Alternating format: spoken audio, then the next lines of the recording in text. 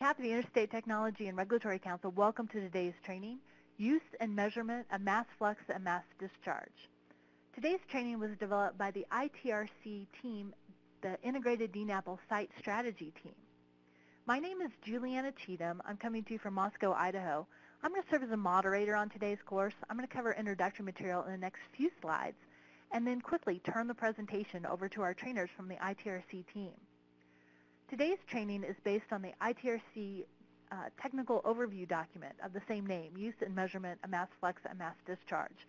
We're going to introduce you to the document during today's training class, and we do hope that it becomes a resource that you can use on the job after today's training. Today's class is sponsored by the Interstate Technology and Regulatory Council, ITRC, and is hosted by the U.S. EPA Cleanup Information Network, or CLU-IN. A few housekeeping items to cover. Today's course is two and a quarter hours. We are recording the event. The trainers are going to control the slides today on our Adobe Connect. If you would like to, you can download the presentation, and that's available on that CLU-IN training page where we started today. We do look for your questions and feedback. Throughout today's training, you are welcome to send in a question anytime using the Q&A box in the lower right. In some cases, we'll get right back to you with an answer. In other cases, we're going to ask those questions out loud during our question and answer breaks. We're going to have one in the middle and another at the end of today's training. At the end of the class, we do ask that everyone fill out the feedback form. We really do use your feedback. We're developing new classes now, and your feedback is going to help us improve those training classes. Plus, we can use your feedback to improve this training class as well. The feedback form is also your opportunity to create a certificate of participation for attending today's class. So if you're interested in a certificate, attend the class, fill out the feedback form, be sure to check the box at the bottom to certify that you attended, and that's going to allow the system to generate a certificate for you. More information about ITRC is available on the ITRC website. ITRC is hosted by the Environmental Council of States. And overall, ITRC is a network that's led by state regulators. It includes our federal partners, Department of Energy, Defense, and the Environmental Protection Agency, as well as members from industry, academia, and community stakeholders. The full ITRC disclaimer is included in the notes section of this slide and on the ITRC website. ITRC is partially funded by the U.S. government. ITRC nor U.S. government warranty material or endorse specific products. We recommend you check with local, state, and federal laws and experts. We encourage you to use ITRC's presentations and documents for educational purposes, both in your work and if you need to deliver training to others. We do ask that you please credit ITRC, review the ITRC usage policy, and let us know about your successes. Use of ITRC materials for profit is not permitted. More information is available on the ITRC website, which is linked here. There's a wide variety of technical and regulatory guidance documents. We have our classroom and online schedule for the rest of the year available. There's new teams that are starting in 2018, so if you'd like to become more involved in ITRC, please visit the website to learn about how you can become more involved and use the resources that are already available. I'll introduce our trainers for today's class. All trainers were members of the ITRC Integrated DNAPL Site Strategy Team. That team was led by Naji Akladiss of the Maine Department of Environmental Protection. Alex McDonald is a senior engineer in the technical support section of the cleanup unit at the Central Valley Regional Water Quality Control Board in Rancho Cordova, California. He primarily works on cleanup of the Aerojet site in Rancho Cordova and other nearby sites such as McClellan Air Force Base. Dr. Tamzen Macbeth is a vice president at CDM Smith in Helena, Montana. She specializes in the development, demonstration, and application of innovative, cost-effective technologies for contaminated groundwater. Dr. Chuck Newell is vice president of GSI Environmental in Houston, Texas. His professional expertise includes site characterization, groundwater modeling, non-aqueous phase liquids, risk assessment, and software development. Alec Naugle is a senior engineering geologist in the Groundwater Protection Division at the California Regional Water Quality Control Board, San Francisco Bay Region. He leads a unit that oversees solvent and petroleum hydrocarbon cleanups at Department of Energy laboratories and closed military bases. I'll now turn today's presentation over to Alex McDonald at the California Water Boards. Alex? Thanks, Juliana. Uh, good morning or good afternoon to all of you out there, depending on where you're uh, sitting at your desk. Um, like most of you, I've been involved in soil and groundwater pollution cleanup projects uh, for a number of years. I think I'm going on uh, year 34 now. Um, and one thing I wish I'd had back when I first started is all the knowledge and everything I've gained since then to, to be able to apply it back then. Because It would make the job a whole, whole heck of a lot easier. And And what you see, what we're going to give you today is going to, we believe, is going to actually make your job easier. And I wish I had had this um, back then. Um, today, this, the integrated DNAPL site strategy team is going to bring you this information, and it's another tool in your cleanup toolbox that you can use.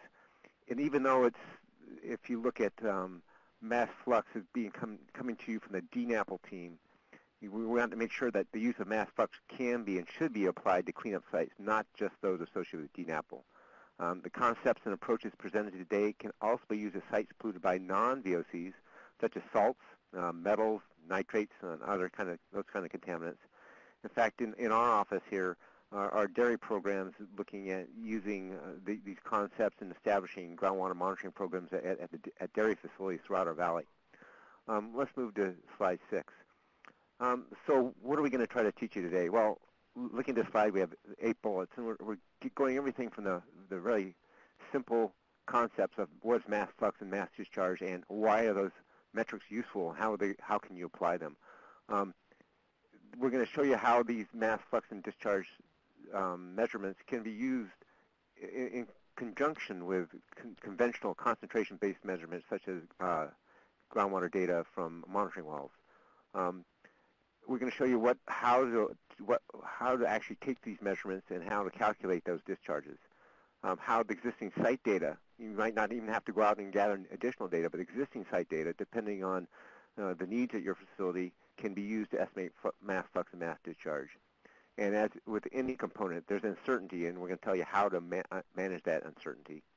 And lastly, there's regulatory considerations of using mass flux and discharge estimates, which you know haven't been used significantly in the past at um, cleanup type sites. Go to slide seven. So on, on this slide, you see on, on the right-hand side of, of, the screen the, our, the, the breakout of the pie chart showing how, what's our, what are the components of our, our team. And it's probably not like any, it's like every other uh, ITRC team is that composed of people from the, the state governments, uh, federal agencies, community stakeholders, university, and the biggest component is industry, the consultants and manufacturers out there that um, that come to us and bring good information that help us uh, write these documents. And if you look on the, you know, the document we're bringing to you today is the use and measurement of mass flux and mass discharge. We've been doing this training since 2010, so we've been doing it for quite a while now. And since that time, our team has also put together a number of other documents. Uh, the first three here you see in situ biometer uh, was done prior to mass flux, and then we've also produced one since that, I highly recommend, is the integrated DNAPL site strategy document. And then since that time, we put out a DNAPL site strategy and tools selection document. And currently, the last thing that should be coming out by the end of this year is a uh, characterization and remediation of fractured rock. Uh, it's a online uh, document that you'll be able to, to, use with training coming out later, in, um, probably in early 2018. Go to slide 8. So why would you want to use this overall uh, site document? Uh, you know, this, this document was crafted primarily to aid state regulators in overseeing uh, remediation contaminated sites while also providing information to stakeholders, the regulated community, and also the consultants. Within the document and summarized in today's presentation, there are sections, as depicted on this slide, um, that will guide you into how to apply mass flux concepts in all, nearly all the phases of site remediation from you know, looking at site characterization to remedy design to establishing a monitoring program and potentially prioritizing, prioritizing between sites in order to optimize resources and address the biggest threats. We're presenting this training in, in three sections, uh, concepts and measurements, application, and then finally case studies. Move to slide 9. Um, mass flux is not an entirely new concept, but has been, been used at much. It hasn't been used that much in a formal manner in the past of dealing with cleanup sites. It's used less formally in assessing sites and designing treatment systems, but not in established cleanup objectives and, or, or other regulatory measures.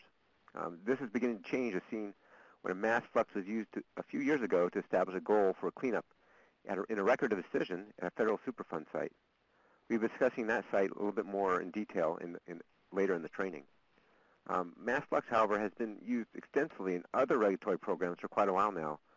Uh, as an example, in the regulatory realm, realm with surface water, which I deal with from time to time, under the NPDES program, use mass flux to, is used to evaluate the impact on the surface water and to develop total maximum daily loads for pollutant discharges. So mass flux is not new to the regulatory program, but more or less new to the cleanup world.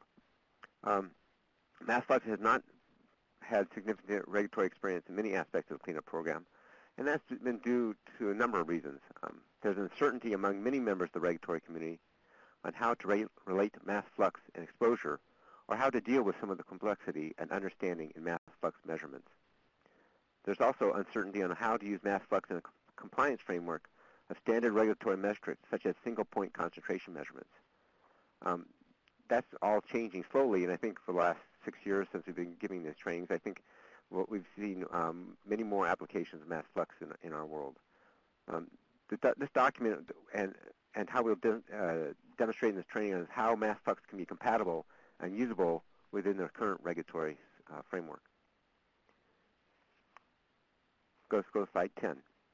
As we proceed through this training, we want to keep in mind the questions posed on the, on the far right, uh, excuse me, the left side of the slide, uh, the slide, and it will provide the answer to some of the, those questions as we go through the training. So keep that in mind as we go through the training. These questions that we're going to look at here on the left. Um, why should I estimate mass flux and discharge at my site? Uh, how is mass flux discharge or calculated? The figure on the right-hand side of the slide shows the generic concept of mass flux calculation and we'll be covering that in a little more detail a little bit later.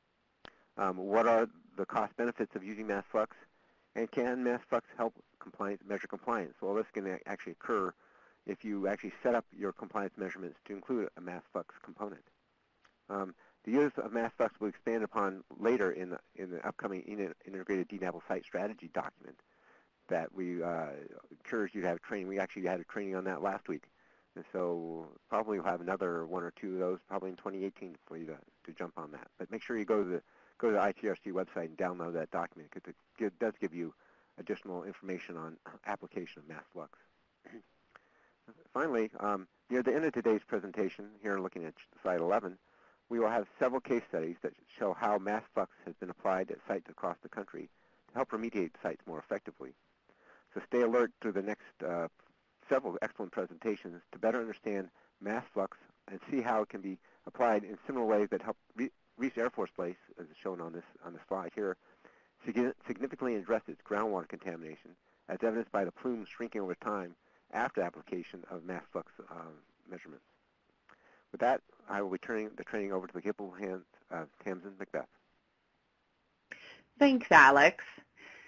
So, uh, as Alex said, we've got this course broken up into several pieces. And this first is what we call mass concepts. So we're going to take a step back and we're going to define what we mean when we say mass flux and mass discharge and kind of lay the foundation for understanding these metrics, the basics about the calculations and their usages, um, and then before we talk about actual methods and how to, how to measure these things. So first we're going to ask ourselves the question, why do we care? Why would we want to implement or use or understand mass flux and mass discharge? And how is it different than what we typically do, which is measuring groundwater concentrations? The team talked a lot about this, you know, really looking at how we could use these metrics and the, the utility and whether we really wanted to write an entire guidance document on it and we really found there's really a lot of advantages to looking and building a conceptual site model that's focused on mass flux and mass discharge. It allows you to understand how the plume and the sources, for instance, are really impacting your receptors, things like municipal supply wells or uh, ecological or environmental receptors like rivers, because most of the time when we're doing things like risk calculations, inherently those calculations are actually using a discharge or the total amount of contaminant or chemical mass that is impacting that receptor. And so by directly linking the risk with how we're looking at the plume and the source, you know, can allow you to do things like develop meaningful performance metrics if you're looking at doing source treatment and defining interim objectives for active treatment technologies like in situ thermal or in situ bio. Um, it also is really the basis for not just our risk calculations, but it's also the basis for modeling.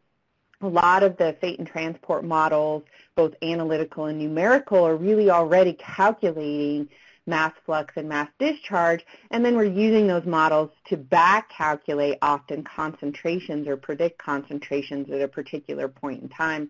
And really we're saying there's a lot of advantage, advantages to really looking at it at the mass flux level. So the other element that's really advanced a lot and made these metrics, I think, available and useful for general consumption within the industry is that there's a lot of tools and techniques that you can use to actually take these measurements. And so that's really helped advance the use of these metrics. So first we're going to go through some basic definitions. What is mass flux? What is mass discharge? So if we have a source and we have a plume, what you want to do is draw a line, if you will, that transects that plume, that goes clear across the plume from edge to edge. So you've got groundwater moving through that transect. This is your line in the sand. Um, and when you look at mass flux, flux is the rate that a chemical or solute is moving across a specific area um, over time. So this is essentially the vector. This is the rate that those, that chemical is moving, so it has a direction um, as well as a magnitude. And so if we then take all these, we've got little boxes here drawn, and we sum up all the fluxes and we integrate those across that entire transect area, that gives us mass discharge. So mass discharge is the total mass of that solute that's migrating across this plane. So mass flux typically is in units of mass per unit area per unit time, and discharge is in units of mass per time. So this is the loading rate of that chemical across that transect. And so just to highlight that some more, here again we've got our source. If we look at drawing a bunch of these transects as we move down gradient from that source, looking at groundwater flux or flow, and the total mass of chemical moving across these transects, here you've got groundwater discharge, which is Q. So when we calculate chemical mass discharge, we're taking the groundwater discharge Q and we're simply multiplying it by the concentration uh, either summed across multiple areas, you know, or that total, you know, average concentration across that entire transect. You can calculate it a variety of ways, and, and Chuck Newell is going to talk a lot about that. Um, and so, again, you get this milligrams per day. So why would we want to think about a plume in terms of mass flux and mass discharge? And one of the most significant advantages when we look at using this metric compared to concentrations is that it allows you to really understand how significant your sources and your plume are relative to a particular receptor. So in this case example, we've got a very large source area We've got a very significant plume migrating off of that source and coming into this receptor, which in this case is this extraction well. In case B, we have a very small source area. We have a very small, discrete plume. It's also being transported to this receptor and impacting the receptor. Now, if you are to place a well in the middle of that plume and, and take a groundwater sample and get a concentration, the concentration that you measure in this case will be equivalent.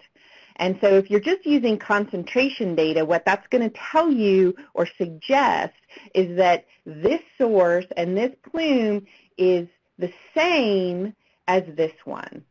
If you look at it in terms of a discharge, it's clear that the total amount of mass that's emanating from this source and reaching this receptor and impacting this receptor. So the total grams per day of mass that's coming into this extraction well is much greater in case A. And so that really allows you to look at these sources and these plumes in different ways and perhaps make some different and important decisions about remedial actions. So mass discharge versus the traditional approach of just taking groundwater samples and evaluating concentrations. In all cases, uh, you can do things like evaluate impacts on receptors, calculate natural attenuation, and understand or evaluate different remedial options. But the team collectively agreed that mass discharge very often facilitates a better understanding of the site, of the risks to receptors, of degradation and attenuation of chemicals that overall can really lead to better uh, decision making during the course or the life cycle of that remedy. So here's uh, just some specific details about doing these calculations again. Here we've got our mass flux. So in this case, we're taking the specific discharge, which is Q. Um, this is also called the Darcy velocity, and that's really where you're taking the horizontal hydraulic conductivity and you're multiplying it by the hydraulic gradient. And so what that gives you is it gives you a volume um, per area per day. Now it's important that you use the right discharge term. Very often people try to use specific um, or sorry, try to use seepage velocity, and that's where really where you're taking the specific discharge and you're dividing it by the porosity. You don't want to do that. This calculation is based on kind of pipe flow, and so we're looking really at the volumetric discharge rate. So you want to use specific discharge or Darcy velocity in the calculation. Then again, you take concentration, and again, multiply those two things and that gives you your contaminant mass flux, in this case in grams per meter squared per day. So why do we care about mass flux? And again, how can this really help us understand our plumes better? One thing that can be very significant is we're often conceptualizing our sources in our plumes as these really nice kind of horizontal plan view isoconcentration contours that are very uniform, you know, migrating out from this source. The difference is that when we add the vertical dimension and we start looking at the subsurface geology and the geologic impacts, we have things like stratification of soils and sediments that create layers or zones that vary in permeability or hydraulic conductivity. And so what you will see is that when we look at groundwater flux, so how fast groundwater is moving through these systems, it's going to move a lot faster through our high permeability zones compared to our low permeability zones. And that's illustrated here by the size of these arrows, where the larger the arrow, the, the greater the groundwater flux. And you also have variations in contaminant concentrations. In this case, we're using this gradient where high concentrations are dark red and low concentrations are light red or peach. So what you have when we look at this vertical dimension is areas where we have very high groundwater flux and very high concentrations resulting in significant ground or contaminant mass flux compared to other areas where you might have much lower groundwater flux, but you still have those high concentrations, but you have lower contaminant mass flux. So understanding this vertical dimension and the variability in both the flow characteristics and the flux characteristics can really help, especially with remedial design, and we'll talk about that in the case studies. So to illustrate this point further, here we have this conceptual example of these three stratigraphic units. We've got a fine sand, a gravelly sand, and a regular sand. In this case, we're looking at the sensitivity of this mass flux calculation um, based on the horizontal hydraulic conductivity, where that fine sand is about 1 meter per day, the gravelly sand is 33 meters per day, and the regular sand is 5 meters per day. In this case, we're assuming the horizontal hydraulic gradient is the same for each of those three units, and we're also assuming the concentration of contaminant is the same. So in this case, just this difference in conductivity results in over 85% of the contaminant mass flux is actually occurring in that gravelly sand. So you can really see how this is starting to help us better understand the flow characteristics and the transport of these chemicals within these subsurface environments. So one of the things that is important to understand is when we're doing these kinds of measurements is that, uh, especially for the transect method, which Chuck will talk about in detail, they, it relies on interpolation or really evaluating or estimating the change in concentration between measured points. So of course, the more data you have, the more points that you're collecting these measurements, the more accurate the estimates of mass flux and mass discharge are going to be. So here you can see we've got this transect, we've got these multi-port sampling wells, we're collecting samples. This is the conceptual uh, idea or visual of what that plume looks like if you're looking into the contaminant plume with these high concentration hotspots. And when we take these measurements and we interpolate, this is what we're getting. So in this case, it's important to understand variability and the uncertainty in these measurements and understand that the majority of transects are really sampling very small overall percentages of groundwater moving through the transect. So the other important element of using mass flux and mass discharge is really understanding how these concepts can help us interpret what's going on in contaminant plumes and where chemical mass is migrating and where it's being stored. And an important evolution in our understanding of DNAPL plumes in particular is concept of matrix diffusion.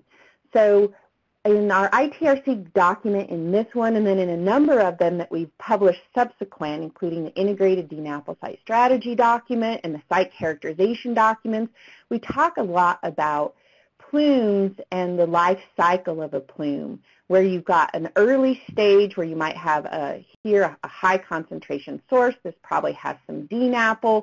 So you're dissolving out very high concentrations from that DNAPL. That the concentrations of that plume is advancing in your high conductivity zone. So if you've got these transects that are periodically placed in down gradient of that source, this early time frame, you've got the high concentrations migrating through your high conductivity zones. That plume is expanding. But because there is a difference in concentration at these interfaces where you've got high concentrations and then low concentrations in the lower permeability media, around that, you've got matrix diffusion occurring, meaning that mass, chemical mass is diffusing into those low conductivity zones. So you've got mass migrating advectively as the plume front advances, and you've got contaminant mass migrating through diffusion, creating these halos, if you will, around these high conductivity zones. And you can see the halos better in this figure. When we look at DNAPL sites in particular, um, and the fact that they're very often have been present for decades, a lot of sites are what we would consider a late stage or late phase site. And in this case, that source is largely gone or depleted. So you've had many, many pore volumes of groundwater flushing through this source, or perhaps you did some remediation in this case and so sometimes you can get this similar effect if you remove that source. And so what happens is now you've got clean groundwater migrating through these high conductivity zones, um, and the majority of the remaining mass is actually stored in those low conductivity zones. So because you've reversed that concentration gradient, now you're going to have concentrations or chemical mass back diffusing from your low permeability zones into your high conductivity zones. So this is why for these kinds of plumes, we very often see significant tailing in our contaminant concentration data over time, meaning we can get to some low concentrations and have a lot of, of impact in remediating our sources, but then it's very difficult often to get down to these very low part per billion concentrations, and often it's because of this diffusion effect and that this mass uh, can essentially act as a secondary source of contamination for a very long time. So that's important to understand. Uh, the other concept that really is helped by understanding mass flux and mass discharge um, are things, again, like our natural attenuation models. Very often those models are geared towards evaluating the differences in mass discharge across transects in different parts of the plume, where that reduction in discharge, if you go from you know, 400 grams per day of mass at a transect close to your source, oh, let me see, here to say, you know, uh, 10 grams per day in a transect out here, that difference in mass discharge is often what's used to estimate the attenuation capacity of that aquifer system. Um, the other kind of important element and something we've been doing a lot is really looking at ex situ treatment systems and pump and treat systems in particular because those systems are designed to create capture zones and to bring capture those plumes and bring that mass into extraction wells, which you can see here, you know, capture this plume, bring it into the extraction wells. So that is almost entirely discharge based. You're creating those capture zones, you're pumping the groundwater, and you're bringing that chemical mass into the extraction wells.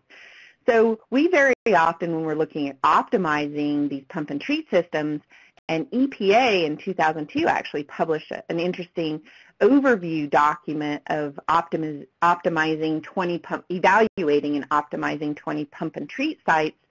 Um, and what they found is if you looked at this, the capture zones that were being created and the mass that was coming in to these extraction wells and looked at where within the plumes that mass was coming from, what they found is that in general, the, the treatment systems, these pump and treat systems, very often had to be replaced or optimized, and it was very often because they were over-designed, meaning they were capturing these tremendous volumes of water, um, and they were doing a good job of capturing their plume, but it was very inefficient. And by optimizing those treatment systems and really refining those capture those extraction intervals, and in particular the vertical intervals, again, because you've got all this heterogeneity, really honing in on those zones that uh, where the contaminant plume is allowed for much more efficient operation of those pump and treat systems. So that can be really helpful when you're looking um, at those kinds of things. So our team thought a lot about these metrics. Um, we thought a lot about the good, the bad, the ugly, and essentially what we came up with is one of the biggest uh, hindrances to using these metrics is that there's a lot of uncertainty. So now you are dealing with not just uncertainty of groundwater concentrations and collecting samples, but there's also uncertainty with things like taking hydraulic conductivity measurements, taking gradient measurements, making sure those data are accurate. And the team agreed that that uncertainty is there, but really these systems are inherently uncertain. And by implementing these approaches in an adaptive manner that allows you to update and refine these estimates throughout the life cycle of the remedy, that uncertainty can be managed. Um, and that kind of leads to, again, this idea of heterogeneity and sample volumes and really just understanding, you know, doing some preliminary estimates, per, perhaps with a preliminary transect can give you a certain estimate with uncertainty, and then as you refine or modify or progress through the remedy, you can update that and improve those estimates over time. Um, the source plume boundary, uh, this is really where these estimates can be very helpful when you're trying to really look at, do I still have a significant DNAPL source? Um, or am I more this late stage site where diffusional or secondary sources, even desorption, is really what's driving uh, chemical mass into the plume? So overall, we feel that these metrics give you some solutions so you can work smarter, so you can implement more adaptive approaches, so you can account for and include things like heterogeneity and variability and flow and transport, and again, make better decisions for the site. So the advantages, better conceptual site models, better estimates of attenuation capacity, improved remedial efficiency, uh, reduced remediation timeframes because you're being much more strategic and, and, informed about where you're doing remediation, accounting for the fact that you're going to have to manage uncertainty, and there is a cost implication with these metrics. So with that, it's my pleasure to turn it over to Chuck Newell with GSI Environmental, and he's going to go through measurement methods. Well, great. Thanks, Tamzen. And we'll go ahead and start and, and uh, talk about this key question. You're, say, staring at your, your site report, and you want to add this information. You want to add that this plume has a mass discharge of X milligrams per day. But, but how do you get that number? And that's what this section is really about, and in the section four in the document. Uh, there's five methods that we talk about here, and um, some of the key points that we have is is that all these points, they're all ready to go. Um, you can apply them at your site. You can apply them in different places in the, in the source or, or in the plume itself. And they all have different characteristics in terms of their, their cost and the type of data that you can get from them. But here are the five right now. Method one is this transect method um, that uh, you can use to apply it. Method two, well-captured pumping methods. Method three, passive flux meters. Method four, using data ISO, ISO contours.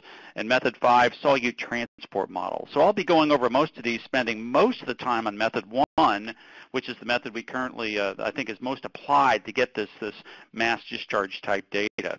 But how do you decide which one? And of course, your site may have different information about, you know, cost or applications.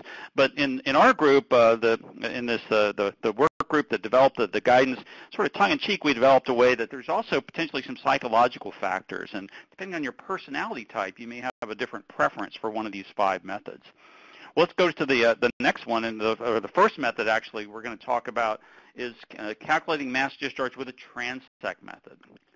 So who is this for? Well, it's for all of you out there who just really like going out there and doing groundwater sampling because this is groundwater sampling on steroids.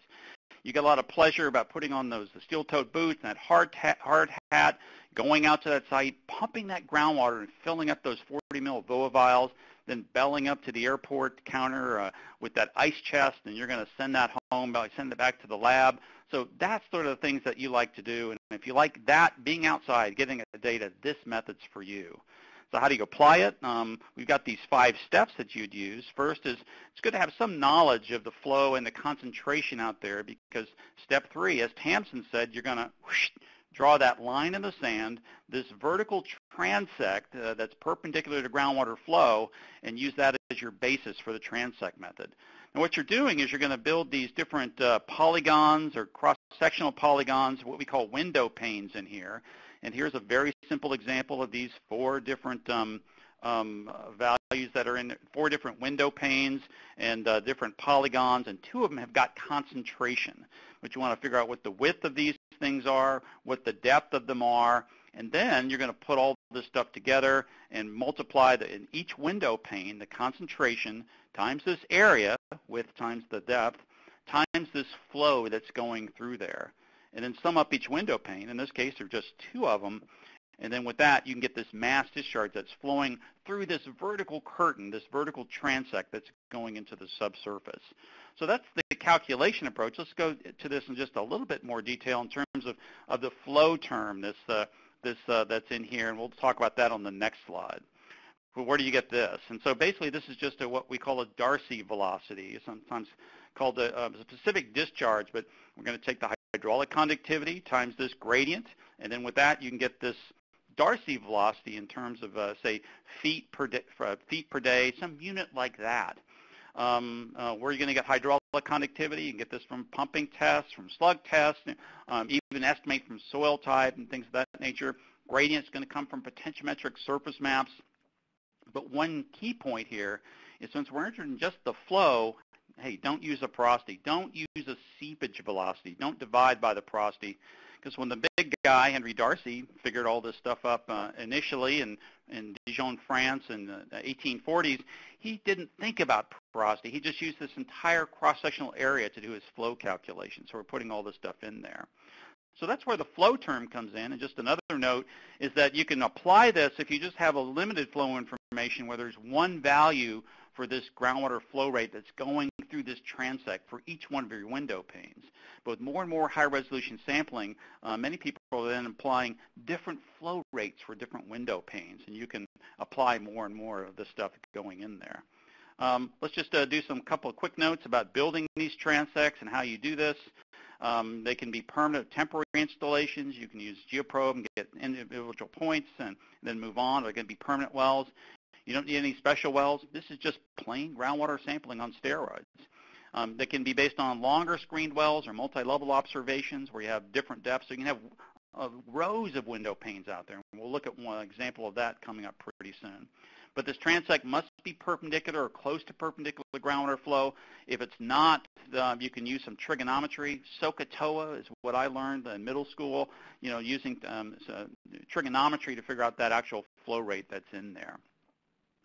Uh, next, um, just to give you some examples of doing this with high resolution data, and one of the members in the group, a couple of members, they talked about this is the re real beauty of this particular method, that if you do this high resolution sampling and you look at this mass flux, for example, going across multiple window panes in this figure to the right, he said it just changes your life. It changes your entire perspective of the site. You can see these high concentration um, of uh, uh, rivers of, constant, of high mass flux going through your site, and you can get an idea, oh, I start understanding the source architecture and things of this nature. So here's an example of a lot of window panes of the site. We've got different rows in here from this multi-level sampling that was done. In this particular example, you add them all up, you get this to be 488 grams per day, um, equal to 176 kilograms per year. Um, there's a classification system, a paper that I helped write in 2011 that puts all these plumes into 10 different buckets like the Richter scale. In this particular one, 408 grams per day, that's a MAG 7 plume that we're looking at right there. Okay, well, let's keep going on and um, talking about the transect method. Um, how many points do you use? Um, we talked a lot. Should we come up with specific guidance and say you should use X numbers? No, we just, in the end, we couldn't. It's very site-specific. We did, got some qualitative information about if you're using it to estimate source strength, maybe you need fewer numbers, but if you're estimating plume stability, hey, maybe higher numbers for this. And so for all these different applications and the specific use, we have these uh, suggestions about, hey, low resolution, medium resolution, or high resolution. So all of that's in there to help you figure this out. We've got risk to receptors, selecting its appropriate technologies, develop optimized remedial design, evaluating remediating performance, long-term monitoring. So one thing about this table, it, it does say that th there is a lot of applications for this technology, this mass flux information, and uh, how many points as we talk about this on this table 1.1. How about multiple transects at a site? And we say, yeah, that's a great idea. You can really do this. And so this picture here talks about in the beginning, we've got a plume in sort of all three of these zones. But by, by the time you get to transect 3, there's only one. And so you can sort of craft these and, and, and look at these. But this multiple mass transects, you can look at these different things and get different sorts of first order rate constants, for example. John Wilson, uh, EPA now with Scissortail, talked about, hey, using this mass discharge data is really a great way to understand attenuation. And if you do mass discharge versus distance, you get an idea of how quickly that parcel of, of dissolved material is dissolving as it moves away from the source and sort of goes down gradient. If you're looking at one transect over time, you know, from this year, two years ago versus 10 years ago, you get indication of how quickly this source is weathering or attenuating in here. And this particular document here uh, from US EPA um, uh, provides that, that uh, it sort of explains these different flavors of, uh, of uh, first order rate constants that you can use. Moving on, I'm going to talk about two related concepts and using pre-characterization with something like a membrane interface probe or some other screen tools, that might help you say, hey, I can sort of see this, this high concentration you know, uh, blob or this core. Maybe I'm going to put more of my, my, uh, my points in my transect in there. And then you so do this, and you can design sort of a more, more customized uh, uh, transect to get better, better information from it.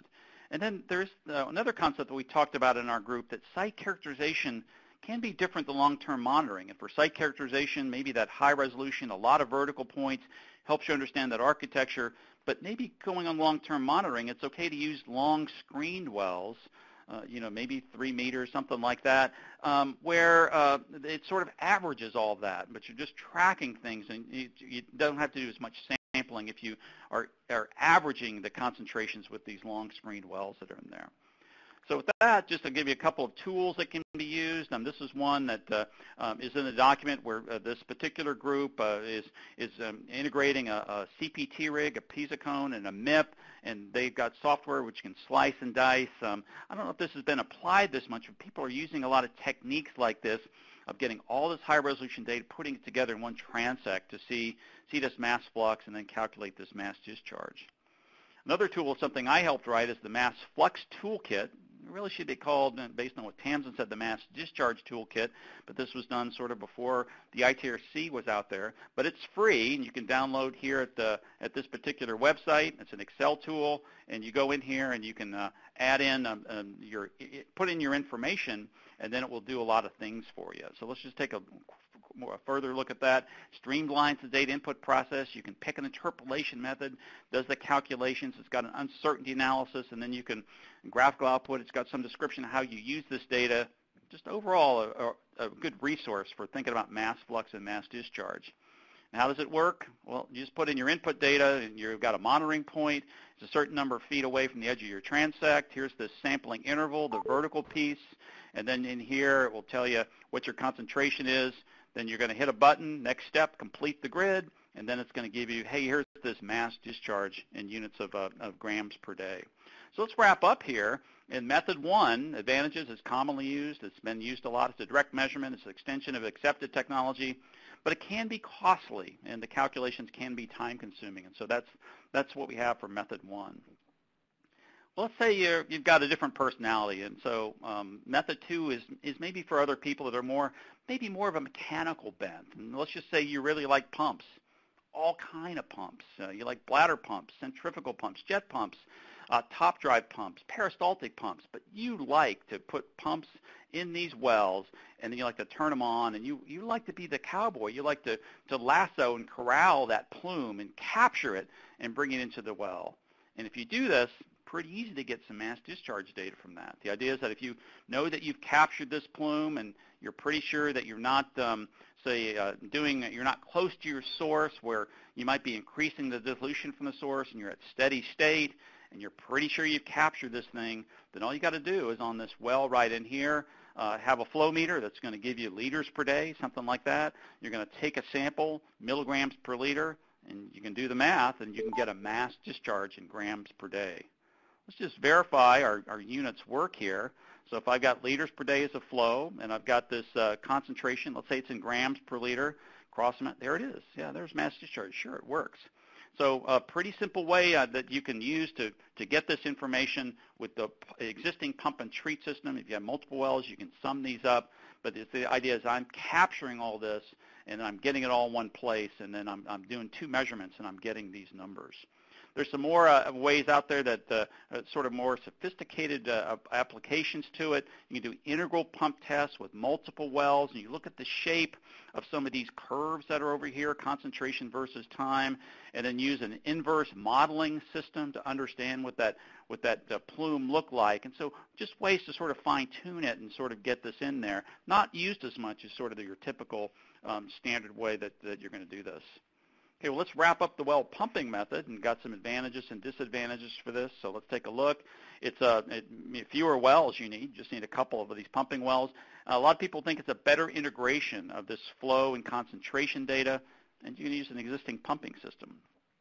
Uh, limitations, you don't get that mass flux data. You don't get, don't get that, that world-changing picture of what that mass flux and see all that architecture in there uh, you got a lot of water you got to dispose of. And if you don't have an existing pump and treat system, that can be costly. Uh, possible to change these plume characteristics, get too close to the source. Maybe you're dissolving stuff a little bit more than would naturally.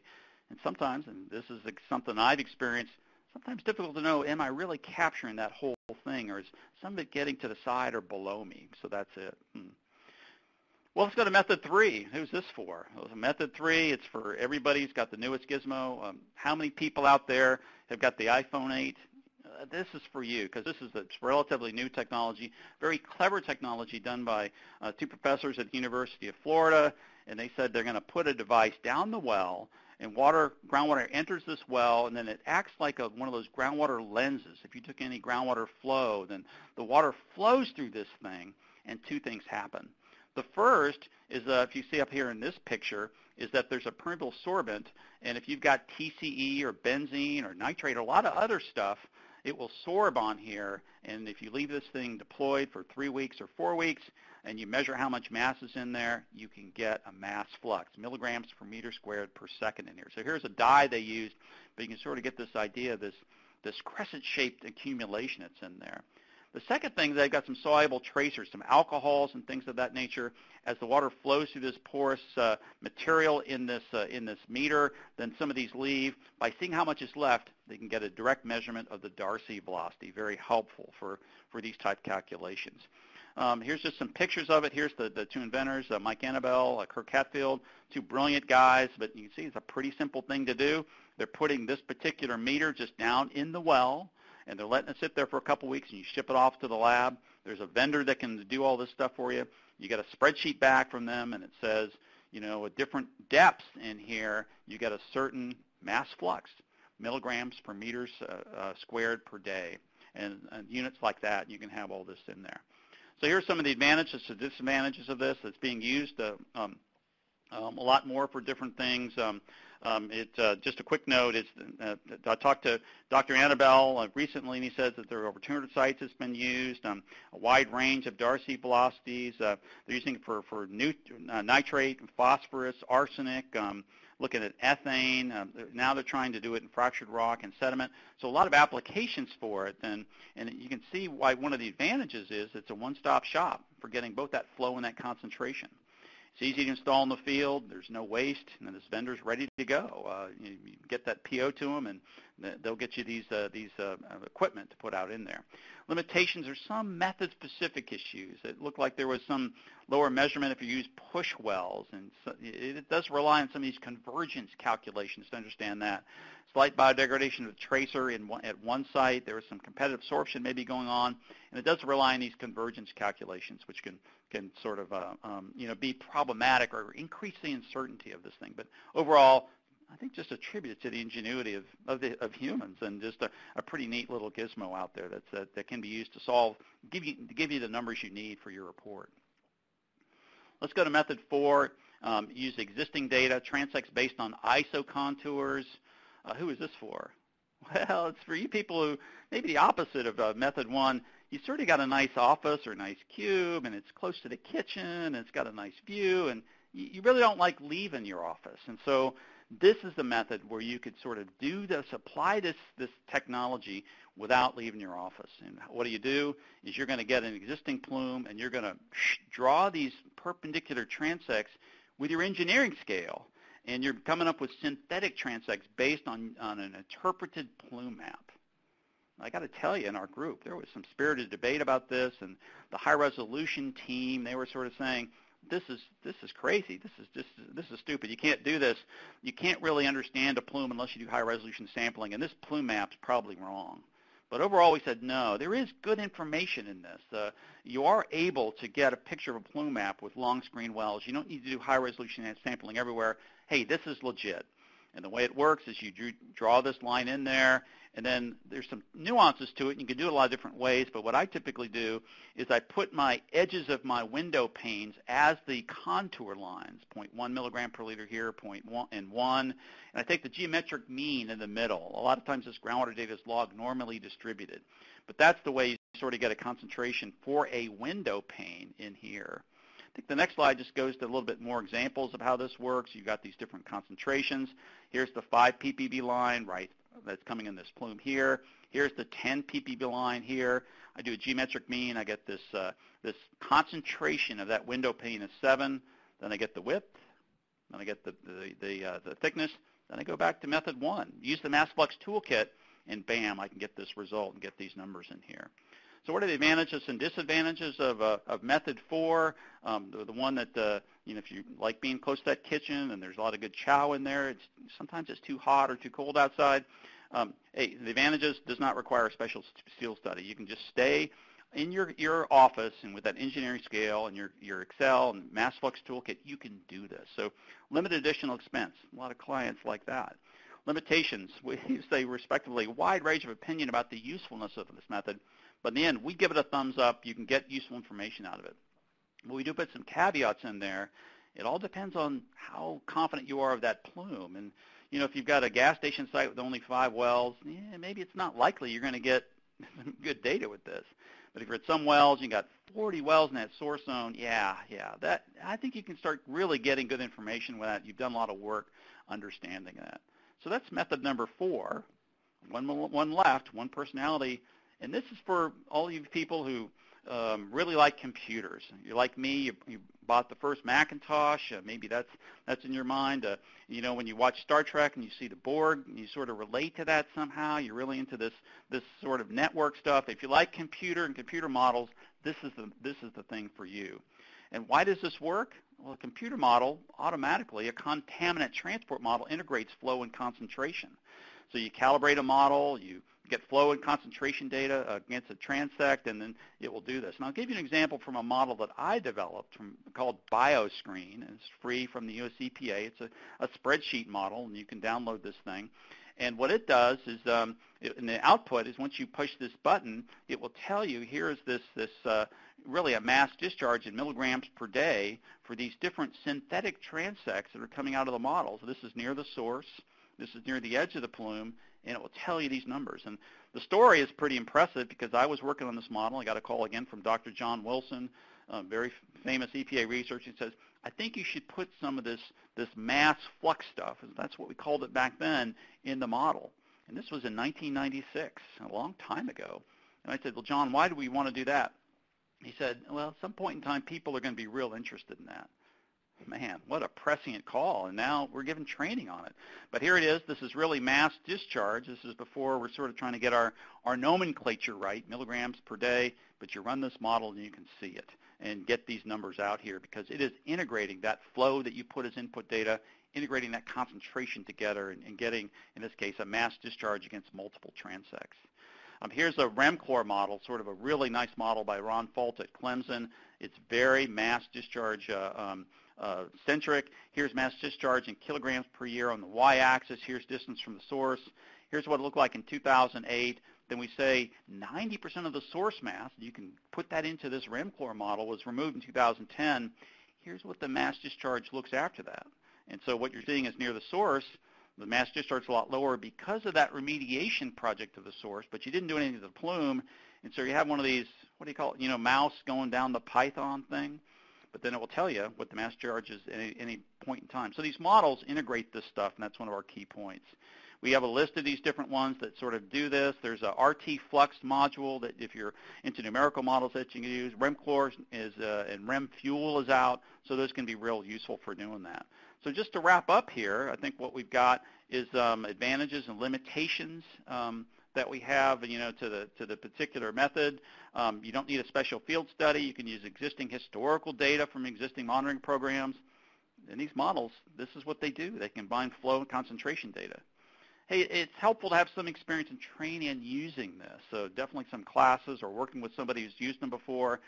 There's some some uh, element of you know uh, experience that can help you get through some of this stuff.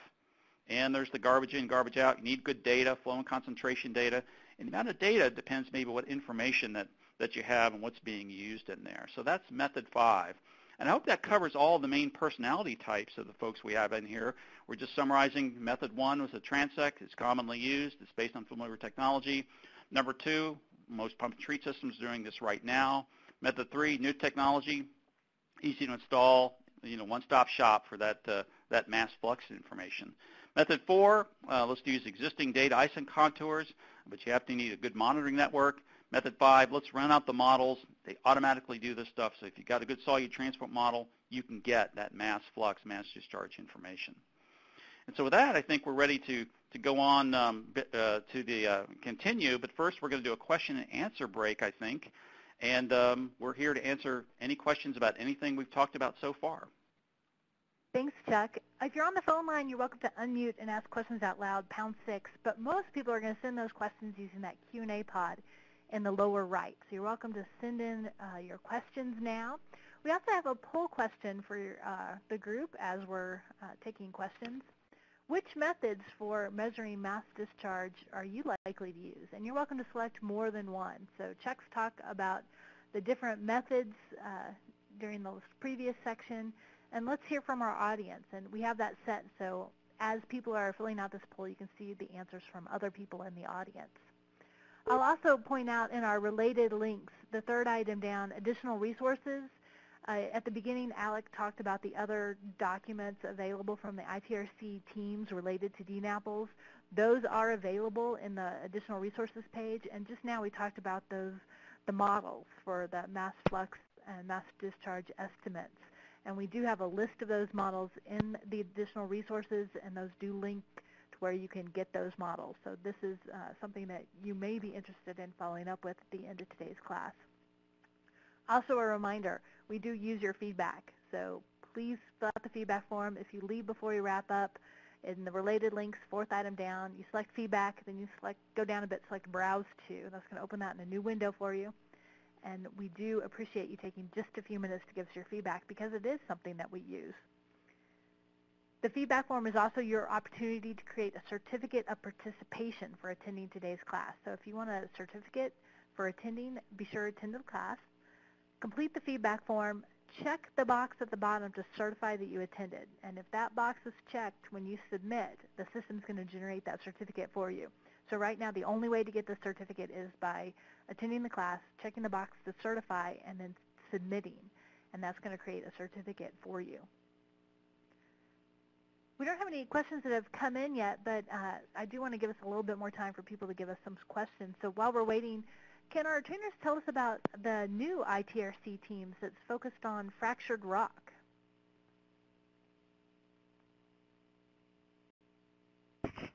Sure. So this is Tamzen. Um, so subsequent to this mass flux guidance, we actually developed a training called Integrated DNAPL Site Strategy, which is kind of an overarching framework for how to manage complex sites um, with specific focus on DNAPLs, but the process that we put forward uh, can be used really for any contaminated site, arguably. Um, as a key component of that, we recognized it was very important, and one of the things that was often missing and really hurting many sites and management programs' ability to clean up sites was inefficient, insufficient conceptual site models. So we implemented a, a, new team and we wrote a guidance document on doing site characterization and really which was originally kind of an update to a DNAPL site characterization document that was published in the early 2000s. And as part of doing that, we recognized that you know, there was so much complexity and so many nuances with working in fractured rock sites that we just really couldn't capture or or sufficiently address in that site characterization guidance, the general one, we wrote a guidance document specifically on um, doing site characterization for fractured rock. So we're wrapping that up. That document should be released this year with the associated trainings. And so it really is, you know, how do you characterize and build efficient and effective conceptual site models for fractured rock sites? Thank you. We actually haven't had any questions come in, so we'll just go ahead and keep this question answer break short. For people who are, have questions, you're welcome to send those in during the second half of the training class, and we should have time at the end now to answer a lot of questions at the end of the class. But for now, we'll continue on with the second half of today's training, and I'm going to turn it over to Alec Naugle at the California Water Boards. Alec? Ah, thank you, Juliana. Uh, yes, I'm, my name is Alec Naugle. I'm with the California Regional Water Quality Control Board. Um, at this point, what you've heard is Tamzen explain the concepts and Chuck uh, describe the methods for mass flux and mass discharge. What I want to do in the next thir 13 slides is discuss the applications for mass flux and, uh, and mass discharge and discuss some of the regulatory point of view about this. So as you listen, consider your own experience with regulatory acceptance of these concepts. And then at the end, uh, I'll close with a slide or two about my thoughts on that. Okay, so we are on, moving on to slide uh, 56. Yeah, okay, sorry. That's the course roadmap, slide 57. What we had to start with um, when we first, as Tamzen discussed, back in 2009, 2010 timeframe, that's when we considered writing this document on mass flux mass discharge.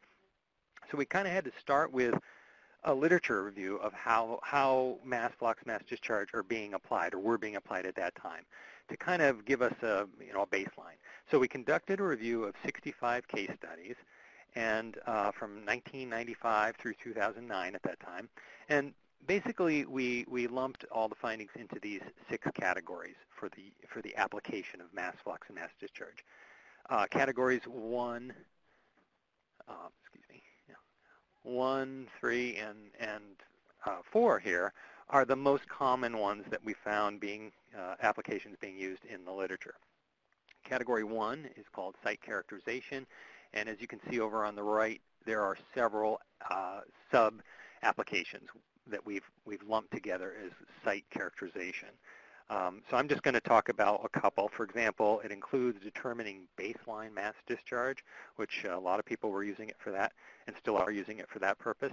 This allows you to quantify changes that might occur uh, due to future remediation. So again, it, that baseline was very important, and I think people realize this early on if we're going to use this this concept of mass flux or mass discharge, you're probably going to want to use it in a way to document how it changes based on what you do.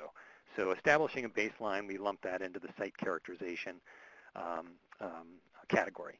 Now keep in mind, if you measure mass discharge across two parallel transects that are perpendicular to flow, then the difference is really a very good estimation of the attenuation rate over that area.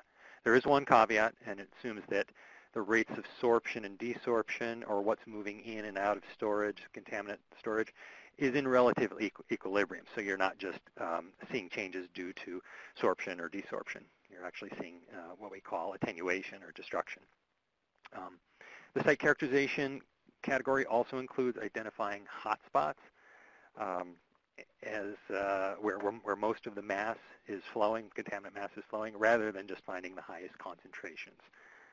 Now using mass flux during site characterization also sets up your remediation, selection, and design, and, uh, and, the, and the best methods for how you're going to um, monitor performance. And that's the categories three and four. So obviously you're going to want to target the highest mass flux zones. Uh, these are your priority source areas so measuring the mass discharge reduction um, as, as, uh, is, is really, I think, a wonderful remedial action objective. And it complements simple uh, concentration monitoring to look at reductions in concentration. So reduction of mass discharge over time is really, I think, a, a very effective and powerful um, remedial performance metric. Categories 2, 5, and 6 on this slide are perhaps better considered emerging uses, or at least at that time frame when we did the case studies, started this concept, we thought, um, you know, these are not as well known, it's, they're not as well documented in the literature, but um, we do see the usefulness here. So category two refers to assessing a potential uh, threat to a receptor, such as a surface water body or, a, say, a water supply well, where a plume may be discharging or threatening to discharge. And I'm going to discuss an example of how that might work a little bit later. Category 5, this refers to using mass discharge as a re regulatory metric for compliance. So not only now performance monitoring, but for compliance, the kind of stuff that, that I as a regulator am, looking to, uh, to see how effective is it. Uh, one example is to use it as a trigger to change a remedy, and we'll talk a little bit more about that later, perhaps from an active remedy to a passive remedy like monitored natural attenuation, for example. Category 6 refers to using mass discharge for site prioritization. So if you're a consultant, it can help you prioritize among multiple sources that you have on your, on your project. You might want to determine the source strength and the threat potential so you know you can recommend what, what uh, source should, you should go after um, first. If you're a regulator, then maybe you want to use mass discharge to help prioritize among multiple sites. that are in your you know programmatic portfolio. How many of these sites are really high threat? Um, I'm always doing public participation, public communication, so it's really important to be able to communicate these things to other parties um, that in the community and, as to why things are taking time, why priorities are the way they are. So, all right, moving on to slide 57, I'm sorry, 58. What this simply shows is that there has been a rapid increase in the use of mass flux and mass discharge. This is based on those 65 case studies that we reviewed from that time period since 1995. And we believe it's largely due to a growing desire for better characterization and, and more efficient remedies. A lot of do-overs and I hate to use the word, the F word, failure, but uh, you know that that has happened out there, and we have a history of that. So I think we we've seen people looking for better tools to uh, to uh, um, you know provide get to better successes, and that's probably what this graph is showing. And we're ho- hopefully hopeful that it does single a trend, resulting in greater use and greater regulatory acceptance. Um, and uh, I've been talking with Grant Carey of Porewater Solutions, who, who helped us with this, and uh, about what this chart might look like if it were extended through through today. Um, we are confident that the bar for the say the last five years or so, seven years, would would also be much taller. So um, unfortunately, that is that's a, a, work in progress. We hope to add that at a future date to really update this, but uh, we think it's moving in the right direction. Slide 59. Again, from those 65 case studies that we reviewed, this slide shows how they broke, how they broke down by category. I sort of already talked about this. The difference is that uh, I showed you six categories earlier. Uh, we, here we lump them into five. We basically combined categories three and four into remediation since it was often difficult to tease them out. Um, so I'm not going to say much more about that. This slide shows where in the world mass flux and mass discharge were being used at that time where these 65 case studies came from. Um, the good news is that we believe the interest in mass discharge is worldwide. We certainly, uh, our team has been reaching out to a lot of researchers in researchers in Europe and, and Australia and other places. So we think this bodes well for spreading familiarity and regulatory acceptance, which is really one of the major goals of, of our guidance. It also supports the idea that uh, mass discharge, it's not necessarily limited to, you know, very specific focused environments, that it can be used across many, many environments, many geologic settings as well. Um, so we hope that's a takeaway. Slide 61, some of the reasons why we think the there's such an increase in use. I already touched on this, but this, this example here I think will illustrate something that's really important. Um, that you know recent experience shows that source zones are often distributed as shown in this figure with very you know very steep concentration gradients over short distances. And our typical characterization techniques may not capture this or at least the ones we've we've used in the past. Tamzen showed an earlier slide how we take uh, uh, how we get to a resolution how we translate this into say those square boxes that um, you know, that's basically what we're trying to do. So the, the, the tighter the spacing, the, the more we can capture this kind of um, these steep gradients and these, these uh, high source zones with transects or whatever, the, the better our mass flux and mass discharge measurements are going to be, the more accurate they're going to be. So um, we also have, uh, you know, an advent of relatively inexpensive direct push techniques that have been around for many years now that can provide this kind of higher resolution detail uh, to capture the details of what this distribution looks like. And we think that um, this is really driving, I think, now, now with higher resolutions, people are more interested in, in mass flux and mass discharge and, and vice versa. So you have to, if you're going to do it, you do, you probably would be wise to get a uh, you know, higher degree of resolution than maybe has been done uh, in the past.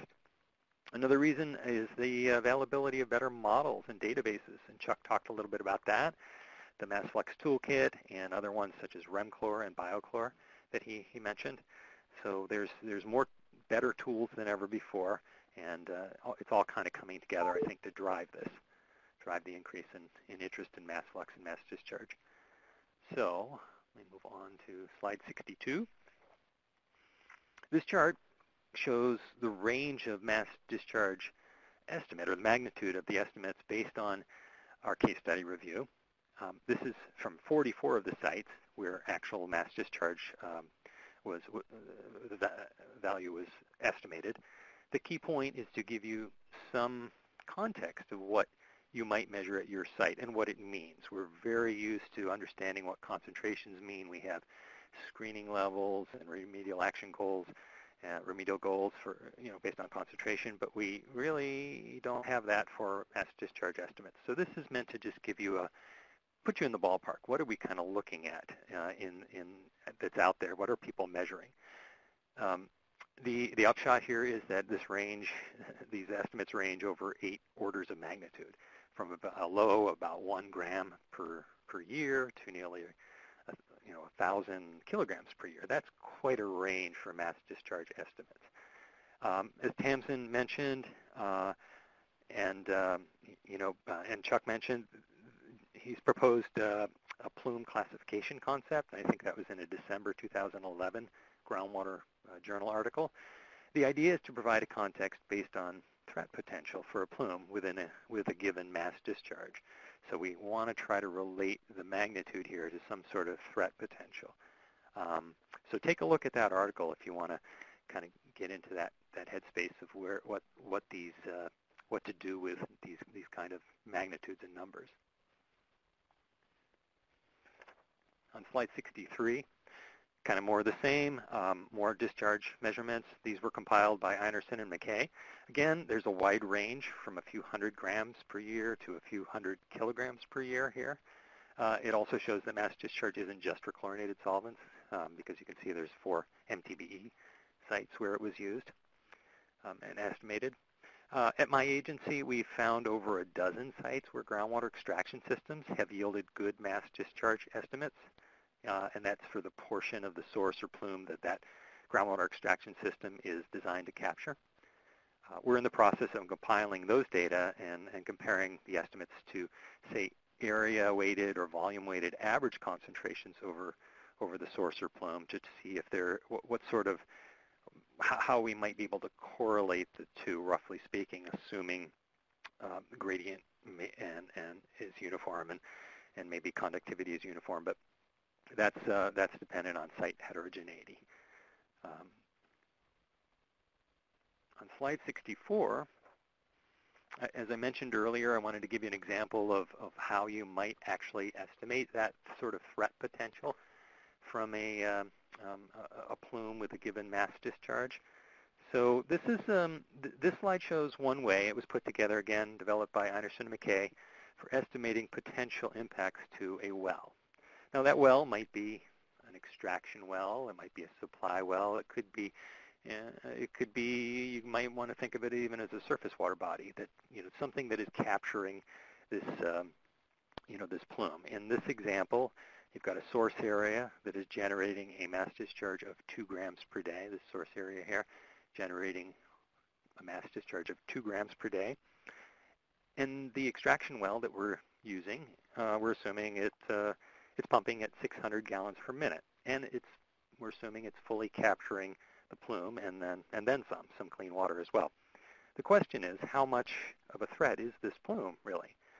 A two gram per day mass discharge plume tends to be at the low end of that scale that I showed you, but you know you still don't really know what, how bad is this. So could it cause the extracted groundwater to exceed some standard or discharge limit? Let's say this was a, a well, a supply well, or a surface water body, and there were some regulatory limits on that.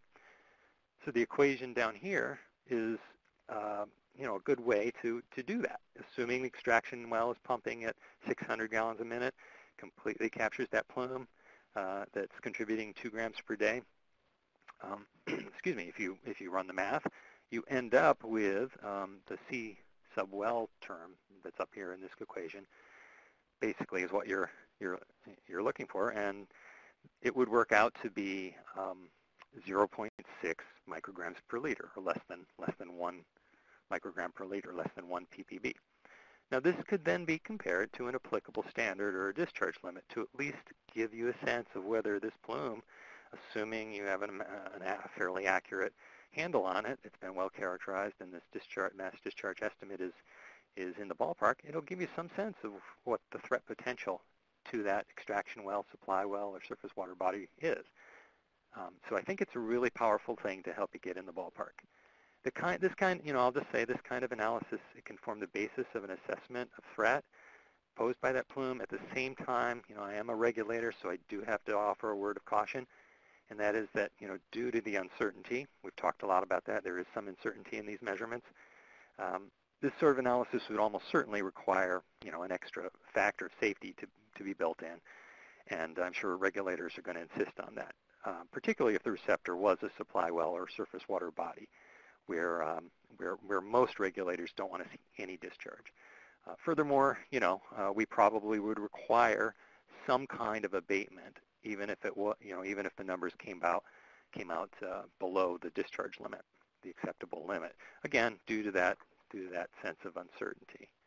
Um, so, but uh, this type of evaluation is really aimed at understanding that threat potential and helping us understand and compare use concentration and mass discharge in complementary ways. Um, you've seen this figure before, uh, except I've, it's been modified a little bit. Tamzen showed this one earlier. Um, so in this figure, the concentration was uniform. It, we've assumed it's a uniform concentration. Uh, earlier, it was uh, in Tamzen's example, it was uniform. Here, we've changed it up a little bit. So we've assumed the concentration in the fine sand is 5,000 micrograms per liter. Maybe you've, you've measured the pore water there or a short well screen in that in that fine sand, and that's what you're getting. And the gravelly sand has a much lower concentration, um, and maybe that's because it's the more highly it is the high, more highly transmissive zone, and uh, and remediation has done a good job of of cleaning that out. Um, and then the sand somewhere in between, 500 micrograms per liter. Uh, the gradient is still uniform in all of these, 0.003, and uh, and then the uh, the hydraulic conductivity is different in all of these. Again, the most conductive, conduct, conductive or transmissive is the gravelly sand, with the sand a little bit lower than that, and then the, the fine sand even lower, the, the least permeable zone. Um, you do the, you run the math in the calculations, and what you find here is that 55% of the mass flux um, is actually moving through the fine sand. And that's a little bit different. Earlier, Tamzen's example was 85% in the gravelly sand and with smaller amounts in the fine and, and in the sand. But here you can imagine a slightly different scenario. We see this quite often as well. Now this example probably mimics what we might call an older release scenario.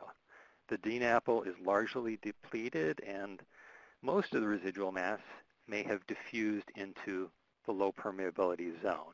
And now it's being, being controlled by back diffusion back into the more transmissive zone. So as greater flows here, there's a diffusion gradient, which is a chemical gradient, not advection.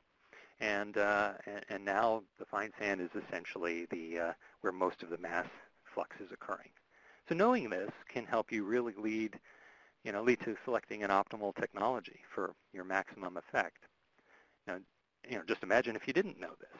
You'd probably end up focusing on the gravelly sand, doing lots of remediation, and uh, and then every time you turn the system off, concentrations rebound and leave you scratching your head, not knowing where to turn next. That's a that's been you know the history of pump and treat systems since uh, the late 80s. So this is really important to understand this, and we think with uh, higher resolution techniques and mass discharge estimates, mass flux estimates, you can really nail this down. All right. Slide 66 I just, I'm going to summarize again, um, nearing the end here. I got a couple more slides to talk about regulatory acceptance, but uh, just to summarize, these are those six categories that we identified for use uh, uh, for application of mass flux and mass discharge based on a case study. Category one is site characterization, uh, which is about getting your baseline strength and understanding the um, perhaps perhaps measuring or monitoring or estimating the rate of natural attenuation. Category two is about using mass discharge to evaluate the threats, as I talked about in the example, say to a supply well or to a uh, surface water body, if a plume may be discharging or threatening to discharge to those things. Categories three and four are about using mass discharge to develop more effective remedies, targeting those high uh, concentration gradient source zone areas, figuring out where they are, and then targeting them, measuring them, figuring out how much they're really contributing to the overall problem. Category five is this compliance monitoring one, which I haven't said much about, uh, much about yet. Um, I will in a moment, and then Tamzen's also going to discuss a case study where the US EPA actually did adopt uh, the use of mass flux, mass discharge as a regulatory metric. And lastly, category six is this site has those two components. If you're a consultant or practitioner, it can help you uh, prioritize among sources or figure out whose source might it might you know, who done it, who, whose source might be the the one contributing um, to the plume, um, and and maybe ruling out others. If you're a regulator like me, you've got 20 sites you're dealing with. You're sort of like, well, how, which one needs the regulatory order or, a higher degree of regulatory attention because it's more of a threat. So that's what category six is about. All right, regulatory precedents. So in, in the, the last two slides, I'm going to just talk about precedents and acceptance from a regulatory point of view. Now, I do believe that there's ample precedent for the use of mass discharge in a regulatory context, yet for various reasons, um, it still remains somewhat unfamiliar, although we've been doing this webinar now for well, I guess this is um, our sixth or seventh year. So, uh, uh, you know, I hear it talked about more and more in the hallways. I hear it talked about more and more at conferences. So I think the word has, certainly gotten out a lot more than it, it had when we started. Um, first, there are examples where regulatory agencies have accepted the use of mass discharge. One is the, the, the site, it's called the 12A, uh, Well 12A Superfund site. Tamzen is going to talk about that. That's in the state of Washington and the EPA has accepted the use of a mass discharge in a record of decision from 2009, so it's, it's a really good one of the early examples. Um, and in that case, as in other cases that we're seeing now, it's being used as a trigger to say when active remediation of a particular area, maybe a source area or a plume, can, can transition uh, to monitored natural attenuation um, you know, knocking it down, measuring it, looking at the mass discharge reduction that occurs, and then setting, you know, some some metric on that amount of reduction needed to to trigger the change. Um, second, uh, for precedence, as you know was mentioned earlier, uh, regulatory programs for surface water dischargers, such as our total maximum daily loads and our uh, NPDES or NPDES permits, whatever you prefer, they, they've always relied on mass discharge to a surface water body to really determine what the appropriate effluent limit is. You know, imagine uh, point sources going into surface water bodies. Agencies have to uh, allocate, um, you know, an acceptable amount of mass that can come from that source, and that gets written into permits that whole calculation is done on uh, is essentially a mass discharge mixing zone um, type type calculation. So regulators in surface water programs are quite familiar with this concept. But uh, for cleanup, I think it's uh, it's a little different. We've been focused on constant point concentrations and, and watching them reduce as the metric, and maybe been missing part of the uh, you know part of the the concept here that we could could help us do a better job. And then third is um, um, as Tamzen talked about, or, or, Chuck talked about, I'm sorry, groundwater extraction systems. We have lots of these in place. We have for many, many years. Uh, if they're capturing uh, the, a plume or even a portion of the plume, and uh, you know you measure that that effluent contaminant concentration, and you multiply by the extraction rate, well, basically you have an estimate of mass discharge for whatever part of that plume is being captured. Now, assuming that you're not pumping so hard as to as to induce more or a lot more mass discharge than what might be happening under happening under say a natural gradient, um, then then that extraction system is is giving you a pretty good estimate. And a lot of extraction systems, you know, are in in low permeability areas, and so they're pumping at low rates. So you can assume that they're not really uh, inducing a lot of extra mass discharge. So they might actually be, be very good estimates of, of the mass discharge that's happening under a natural gradient scenario. And then fourth, um, I just want to reiterate that the rate of natural attenuation is essentially a mass discharge exercise. That's because the difference in mass discharge between two locations across a plume is a direct estimate of natural attenuation with that one caveat I made about um, uh, uh, mass move, moving in and out of storage. But because we live in a concentration-based world, we've pretty much all been taught to focus on indirect indicators such, uh, for, for natural attenuation, such as con concentration changes over time and over distance, and then you know, biogeochemical parameters. But you know, mass discharge transects across a plume are going to give you the most direct measurement of that. And then my last slide, regulatory acceptance. So in developing the document and the training, we had many discussions about what the regulatory barriers are to the use of mass flux and mass discharge and how to overcome them. And kind of boils down to some very basic needs. So first, you know, we've got to develop a comfort letter, familiarity with these concepts. And that's, that's the purpose of our guidance and our training, to increase the familiarity out there. And then second, we have to have a, there has to be a need to understand how mass discharge can relate to risk, or there is a need, but we have to understand how, how it can it relate to risk uh, and risk-based concentration standards, which are the traditional regulatory metrics for compliance. So I want to stress that we're advocating the use of mass flux and mass discharge in conjunction with concentrations, not as a replacement. So just as concentration is a good estimate of the risk, um, mass discharge is a good estimate of the threat. And that's, you know, that's really important when you're talking about supply wells or surface water body receptors. You know, while concentration may vary greatly over time and space, the mass discharge aims to capture the overall effects of that variability, sort of an integration, if you will. And, uh, and that can help refine the exposure assessment. And then third and finally, you know, there, there, is, is the need to envision a future compliance role for mass discharge. And that's starting to move and happen more and more and more. Um, if I had to bet, I'd say that assessing threats to receptors and developing triggers for remedy transition, you know, that's going to be the growth area for mass discharge.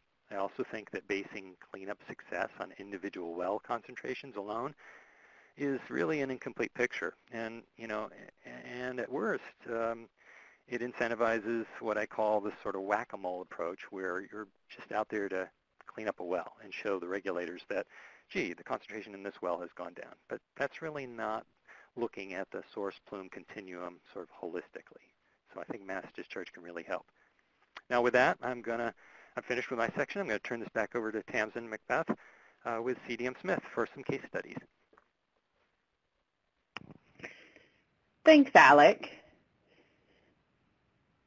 Okay, so that was a really good overview of using mass flux, kind of the history of it, and the perception of how we can use it within the regulatory community and acceptance. And so, course, one of the key things that really helps understand how these metrics are used is to show examples of how they've been used successfully um, and you know talk about the good, the bad, and the ugly um, in case studies.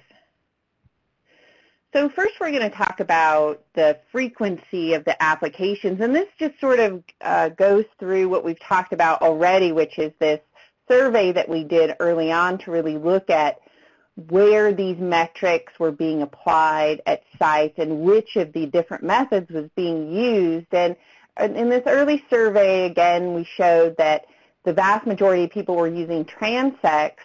I can say that one of the things that I would say has really progressed, and certainly in the compliance avenue, is doing pumping tests. This integral pumping test is one type of test, but we've been using these mass discharge metrics a lot uh, with our pump and treat sites to evaluate contaminant mass discharge and to use that as a basis for um, doing some additional source treatment or additional actions to reduce the discharge coming into the pump and treat system sufficiently that that system can be turned off. And I'm going to talk about a site where we're doing that. So I would say the percentage or the amount that's being used in pumping tests has probably increased. The passive flux meters have been, I would say that technology has been increasing a lot in usage. That technology can be really useful in fractured rock sites. Um, we've been using that a lot to really help us quantify Darcy flux for groundwater within secondary fracture zones, which can be a difficult thing to estimate. Um, so I would say that's going up a lot, and we're using that a lot in fractured rock sites. And then the modeling, I would say, is probably on a percentage level very consistent with the numbers that you see here. So let's talk about one of the first examples that was published in the literature, this Einarson and Mackay paper that we talked about a little bit before, um, where mass flux and mass discharge was really published using this very high resolution transect here where they had these piezometers and they were evaluating, in this case it was CIS 12 DCE. So you can see where all the sampling ports were in here. So one of the first kind of elements that's come out of this paper that has really proven true as we have continued to implement these metrics at other sites is that when you evaluate the distribution of mass, about 80% of the mass across or within this plume transect is present in about 7% of the transect area, meaning that rather than having these very, you know, nice uniform contaminant plumes, these plumes are really very often characterized by these very concentrated hot hotspot, almost like stream tubes um, of high concentrations that really represent a very small percentage of the overall transect where you might have uh, con- contaminant concentrations. The other key thing that's really boded well in terms of being able to reproduce this kind of statistic at other sites is that 90% of the mass occurs where concentrations are greater than 20,000 uh, micrograms per liter, meaning, you know, it, these very high concentration stream tubes where you have a lot of mass, you know, really are very often what are driving advective transport of your contaminant plume. So identifying these hot spots, really refining in in these areas can have a lot of advantages. Certainly from a remedial design standpoint, I do a lot of in situ treatment design with bio and chemical oxidation and even thermal. And with bio and chemox in particular, being able to hone in those injection screen intervals to really focus on these areas of concentrated mass and concentrated discharge can provide a lot of savings on the back end for implementing those remedies. So the second example that we're going to show is probably the first, well, it's the first known example of using mass discharge as a compliance goal. And in this case, it's the Well 12A Superfund site in Tacoma, Washington. This is actually uh, a project that I have worked on for a number of years. And it was a site that's been on the national priorities list since 1982. It was an industrial facility where they discharged different types of oily wastes and sludges and had uh, storage tanks and manufacturing facilities that resulted in a lot of DNAPL releases into the subsurface. And it generated a very large dissolved phase contaminant plume where TCE in 1982 was discovered to be impacting this well 12A municipal supply well. So they tracked that contamination back, identified this source to this um, industrial property, implemented a whole slew of remedial actions over the course of about 25 years that included an on-site source area pump and treat system, um, treatment of the water that was being extracted at the municipal discharge well, um, extraction well, uh, soil vapor extraction and excavation and they and they remediated for a number of years and still realized that they weren't going to achieve restoration of this groundwater plume and the city of Tacoma was pressuring EPA to clean this plume up so that they could have unrestricted use of this supply well. So EPA initiated a focused feasibility study, and they really looked at the attenuation capacity of the contaminant plume, and they determined that if they could initiate some additional source reduction measures um, and reduce the source strength and the discharge of contaminants migrating off that source by 90%, that that plume could attenuate the, the contaminants that were discharged to groundwater treat, drinking standards before they reached this municipal supply well. So based on that, a record of decision and amendment was issued to do a multi-component remedy that included in situ thermal and in situ bio, in addition to the on-site pump and treat, to achieve that mass discharge reduction. We actually just wrapped that up, achieve that uh, reduction, and now we're actually going into long-term monitoring for this site. Um, we found this method, and in particular, the compliance metric in this case example that we used was a pumping test. We had this great pump and treat system that had been designed to capture the plume coming off the source zone. So we actually used that pump and treat system in the and that mass discharge coming into the pump and treat system to determine that we had met that 90% reduction in discharge before remedial actions compared to after we implemented those remedial actions. And so that worked, it, was, it worked very, very well. Um, the next case example uh, is really this uh, way that you can prioritize sites. Um, this is an example where there's multiple sources that had been identified for this contaminant plume. This is based on a Bauer et al. paper, this 2004 paper.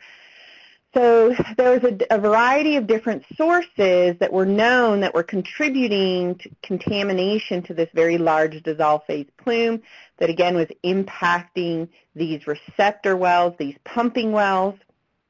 And so they wanted to look at how or which of the sources were really contributing the majority of the discharge coming into that contaminant plume. So they implemented a characterization where they uh, installed some transects here down gradient of these three known sources and evaluated the contaminant mass discharge. And so as you can see here, this was a very large source area, but it was very old. And when they looked at the total discharge coming into this system, it was about uh, 1.6 kilograms uh, per year of contaminant mass discharging from this source compared to this smaller source, but it had about 5 kilograms per year of contaminant mass that was discharging from this source compared to this source, which was, you know, a, uh, in a, a smaller source, and it was contributing about 2.4 kilograms per year. So after doing this evaluation, they realized that this source was contributing the most mass. So by understanding that, you can focus remedial actions and prioritize treatment uh, on the sources that are really contributing the majority of the discharge to this plume. And so for large sites, industrial sites, complex sites where you've got multiple sources, this can be a really good tool to help you in your programmatic evaluation make decisions about where you should allocate remediation dollars.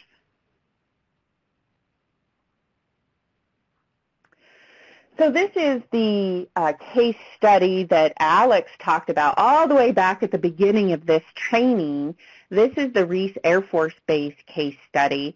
And this is an interesting case study because it's, it's one where just some adjustments in operating the existing remedy, but reevaluating it using mass flux and mass discharge really helped to one, understand the site, and two, really optimize the remedy to affect much more efficient treatment.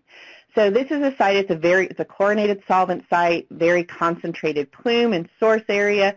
This is the delineation of the plume um, in 2004, and there was a very large pump and treat system that had multiple pumping wells all throughout this plume that had been operating for a number of years. Again, this is three miles, so it's a very long, significant plume. And it was, when you look at sort of the distribution of concentrations in mass, the plume hadn't changed a whole lot over the course of those pumping operations. So uh, the contractor, Arcadis, took a look at that treatment system and one, they really refined what the wells and how the data were being interpolated and interpreted. And what they realized is that some of these outlying locations out here were really kind of misinforming the plume architecture. And they realized when they went back and looked at the geology and all the boring logs that there was a very significant preferential sand channel that really was conveying the plume. And that sand channel, that high conductivity, this is a very kind of uniform sandy aquifer, but that very conductive sand channel was really where the majority of the plume was occurring. So what was happening is they were extracting, you know, pumping wells that were sort of to the sides of that channel, and that was actually resulting in the plume getting drawn out of the channel and towards those extraction wells. So they stopped extracting on those peripheral wells and they increased pumping and capture of the extraction wells that were actually within that sand channel. And just in two years, just making that operational change, you can see what a reduction and what an effect that had on the extent of that contaminant plume. And then in another two years, you can see how that change in operations of that pump and treat system really dramatically increased the efficiency of that treatment system and the ability of that system to reduce that contaminant plume, remove mass, and retract the plume. So again, this is not a change in remedy or doing anything different. It's just looking at the site in a different way and making better, more informed decisions, understanding where the contaminant mass was and where the contaminant mass flux was really occurring and how to manipulate that to operate the system more efficiently. So that was all a really big deal. Um, and so anyway, that wraps up our case studies. Um, it's now my pleasure to uh, turn the presentation back over to Alex McDonald with the California Water Board. Thank you, Tamzen. Um, everyone should be looking at slide 75, and I'm going to use the next couple slides after this to uh, basically summarize some of the key points that Tamzen, Chuck, and Alec presented in their, in their excellent presentations you just heard. I think you guys should feel fortunate to have have listened to them present that information. So let's on, get on to the end of this, and let's move to slide 76. Um, as we're as, as you got through those presentations, estimating mass flux provides useful input into site remediation and evaluation efforts um, by gathering that, that, that necessary information and using that information to estimate mass flux and mass discharge. You you've developed an improved site conceptual model. That's one of the keys to remediating your site, knowing where everything is, having a good idea on where the contamination is and where it is flowing. Um, and this effort will also provide a more informed selection of the appropriate remedial technology and where to place that re remedy so you make sure you're increasing the chances of that of success for that treatment system by knowing exactly where to be placing it. So that uh, one also thing, the third bullet under estimating mass flux, you're refining the exposure assessment. If you know where it's flowing, you can, you can tell where the exposure is going to occur. And so by doing that, you'll know where the, where the receptors are, what wells are potentially going to be impacted, the potential effect on those wells, so you can take the appropriate remedial actions to protect those receptors. Um, this all leads into more effective site management. If you, the, the, more you know, the better you know it, the more effective you're going to be in remediating a site and making sure that you're doing your job in protecting the uh, potential receptors to that contamination. And as Chuck was saying, you can you don't need not necessarily need to go out and to collect a lot of spend a lot of money collecting a lot more information. In many cases, you can use historical data and existing monitoring networks to, to provide those cross sections and, and those flux to get those that, that data to do your flux measurements and, and figure out where the mass is flowing. And then lastly, you, as Alec was talking about, you can enhance compliance measurements.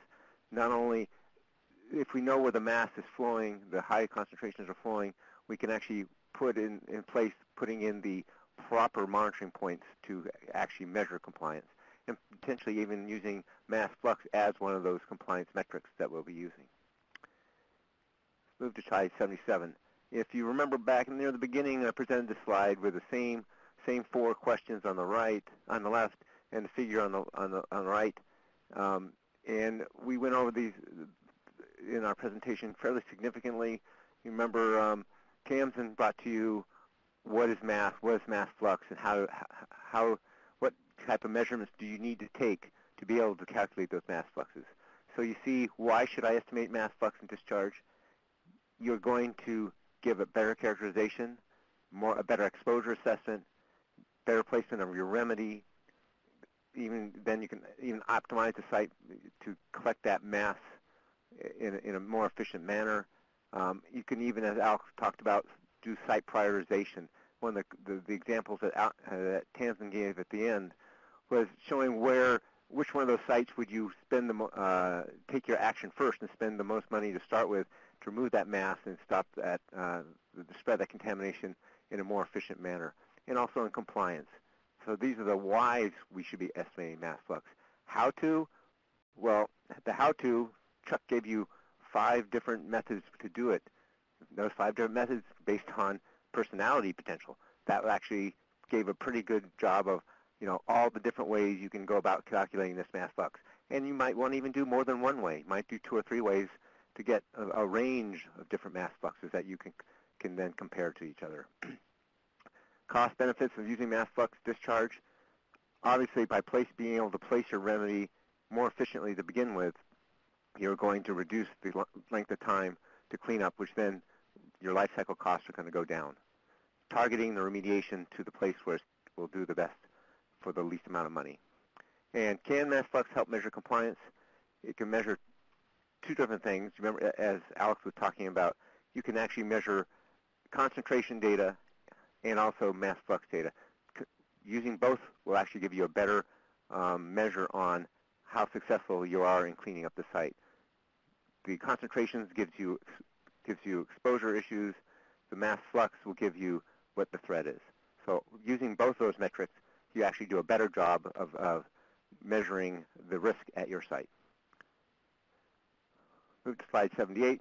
And here we have the follow-on to what you've learned today. There's the, the uh, our DNAPL site strategy team has come up with three additional documents since the um, putting out the mass flux document. The first was the integrated DNAPL site strategy document. Um, make sure you go to the ITRC website to to get to download that. I recommend that for any site um, project manager. It provides substantial information in the ins and outs on how to set a, a successful conceptual excuse me conceptual site model, how to do that even if you don't have DNAPL. Make sure you go and grab that. Following that, we needed to, we actually came up with a document on site characterization of DNAPL, uh, sites with DNAPL. Once again, don't let that DNAPL uh, title scare you, even if you don't have DNAPL. Something very useful in that that document is a tools table, which would, by if even if you that's all you used, you're going to be far ahead in the game in, in, in remediating and investigating and remediating your site if you just you use that uh, tools table. And the last document, which uh, Tamzen mentioned, was coming out uh, hopefully by the end of this year with uh, training starting from ITRC early next year is characterization and remediation of fractured rock. You know, as we said, we, determined that fractured rock has was its own unique beast and need to be uh, uh, dealt with specifically.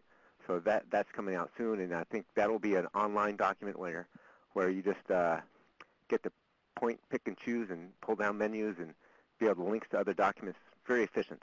So I think you'll enjoy that one. And that's all I have for this uh, presentation.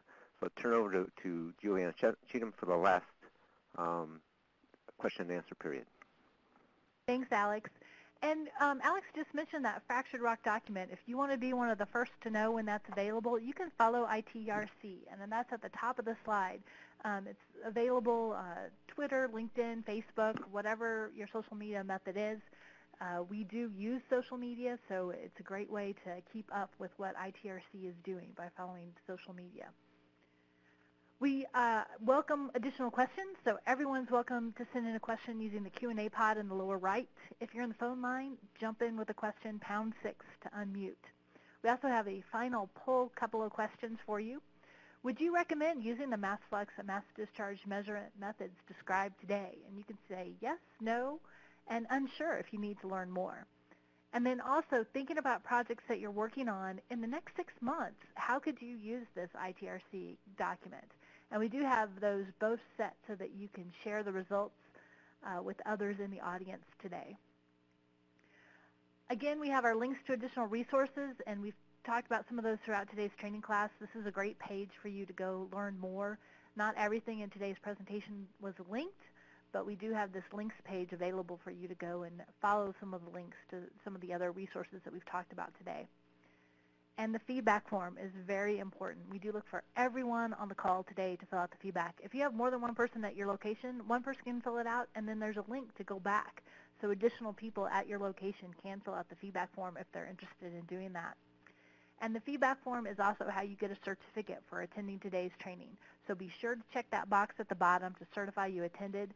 Once you submit, the system's going to create that certificate for you. And right now, that's the only way to get the certificate. So if you forget to check the box, just go back, check the box, submit again, and that's going to allow you to get a certificate for attending today.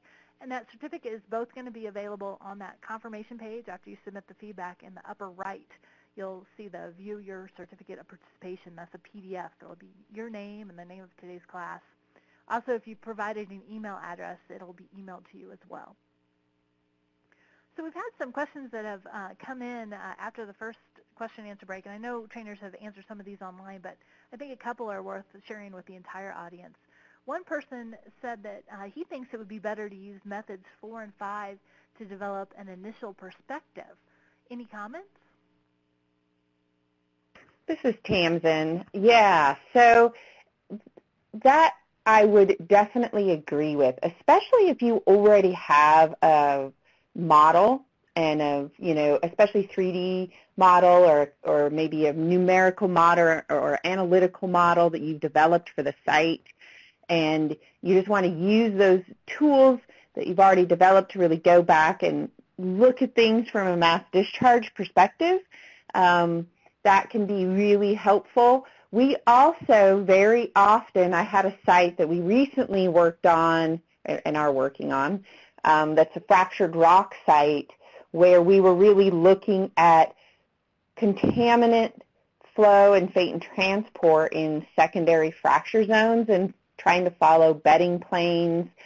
And we were able to use some analytical modeling tools to do two things. One, to calculate the effect or estimate the, the effect of diffusional flux. It was in the New Jersey, New Brunswick shale formation, so we were concerned about uh, diffusion as a potential long-term source of contamination. Um, so we did some crayflesh modeling and some kind of 2D plate modeling to evaluate that matrix diffusion effect and quantify whether it was significant, how significant it was both in the source and the plume.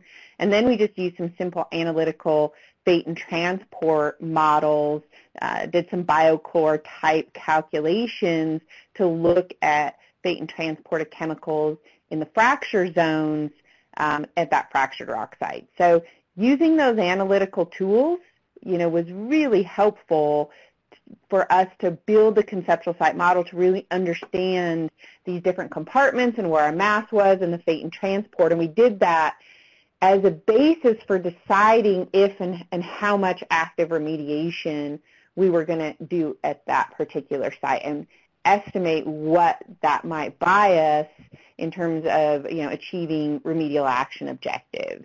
So, you know, I guess the long and the short is, you know, we didn't intend to um, not or to make it seem like those methods were not as desirable or not preferable. They definitely are. They they can be very powerful. Um, a lot of it is just we don't really have time to fully vet and, and develop, you know, all of the different modeling tools that are out there that allow you to do these calculations. But they are significant and and very helpful.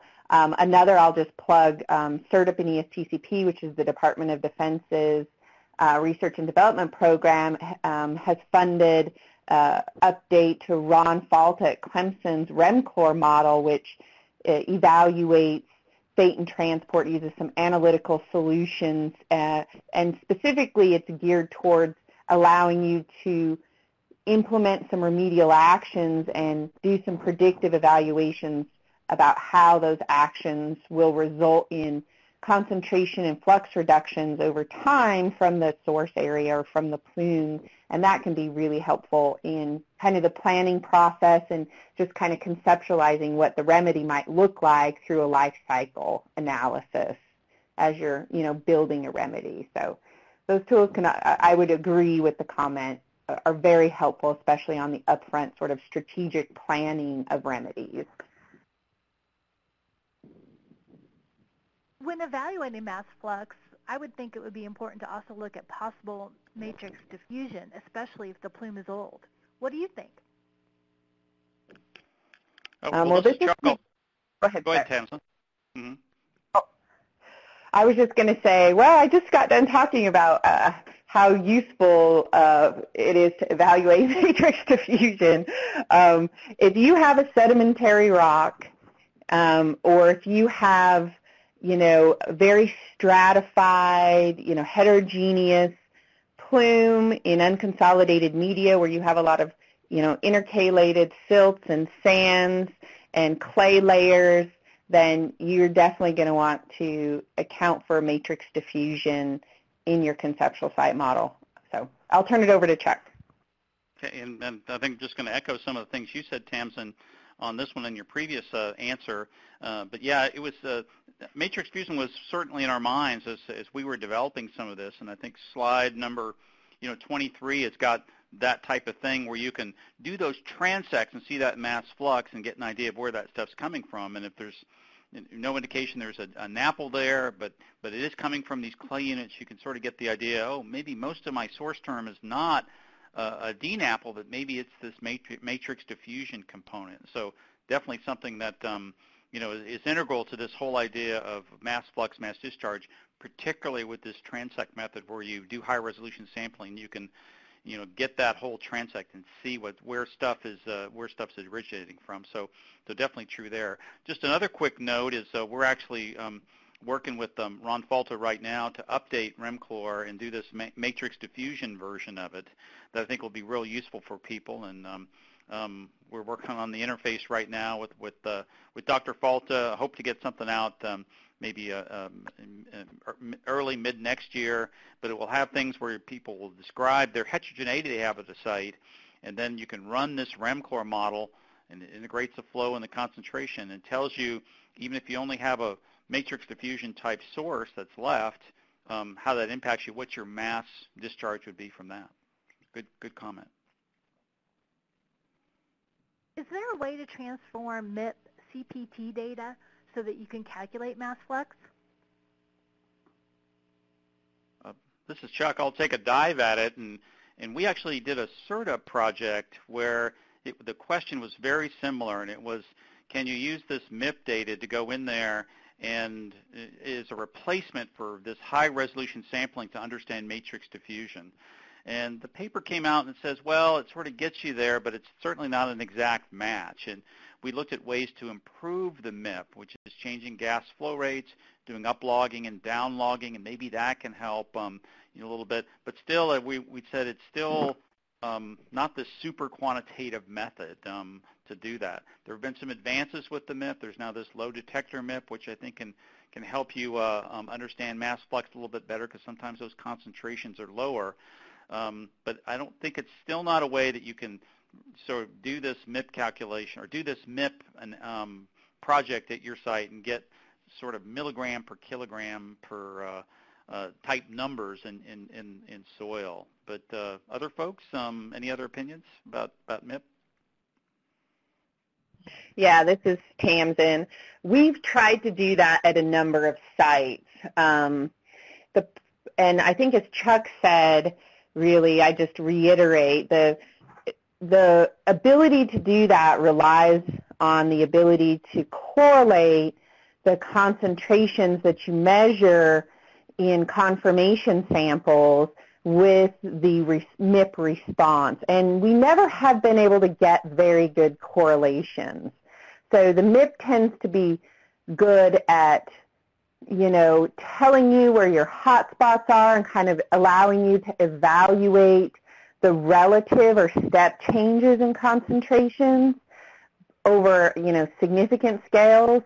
but it really doesn't do a very good job allowing you to actually quantify what the concentrations are and thus what the mass discharge is. So we really just use it as a screening tool to help inform where we collect quantitative samples like soil and groundwater samples so we can actually do the mass flux and mass discharge calculations. Um, we use MIP a lot to help us, say, lay in a transect and ensure that that transect is across the plume and to help us select screen intervals for transect wells. We've, used, we've done that a lot, but, but not directly using the MIP data.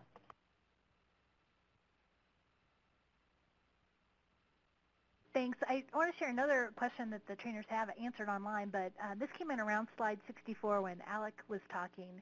And the question is, what would be that extra factor of safety to account for the mentioned uncertainty? And this is Chuck, and I tried to answer that, I think, on the uh, um, just sort of, you know, I'll trying to type some stuff in there.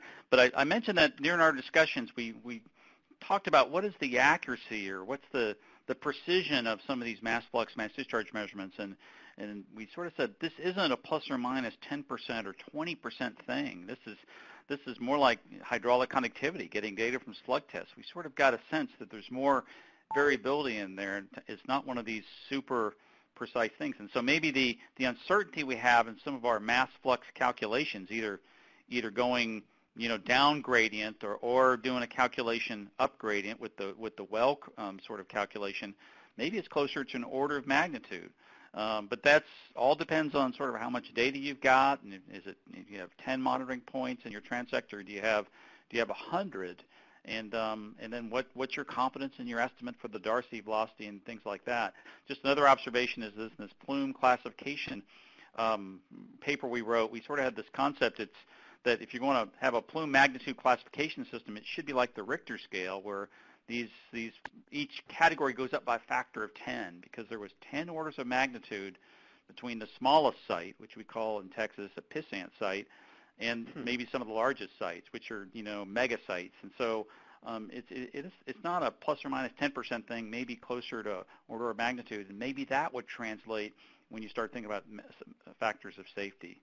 Um, yeah, this, but just that's off the top of my head. Yeah. Mm-hmm. Chuck, yeah, this is Alec. I'll, I'll, I agree. That was a great answer, and uh, um, orders of, an order of magnitude probably is a minimum sort of factor of safety to consider on this. It, but depending on the, the, the method that was used to calculate it, the inherent uncertainty in that method.